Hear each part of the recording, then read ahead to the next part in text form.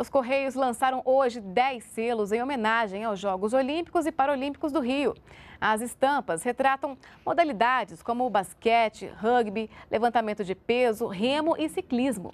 Juntos, eles formam um painel que destaca a identidade visual dos Jogos Rio 2016.